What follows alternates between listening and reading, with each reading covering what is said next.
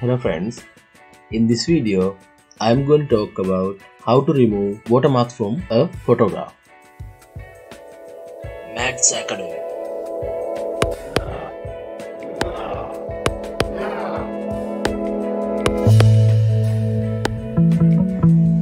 The Art of Learning For that here I am using a website.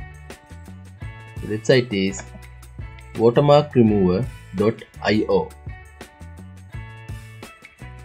type it on the google search bar and select the first link you received from the google search. This is the website www.watermarkremover.io remove watermark is very simple here.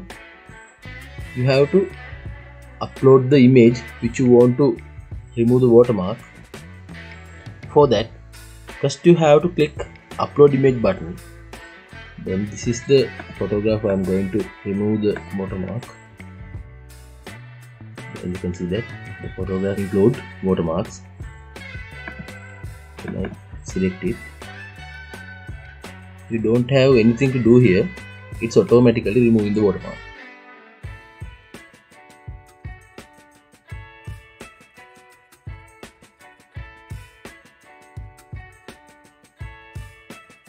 here you can see that. This photograph have no any watermarks then you can download the image by clicking the download image button and open it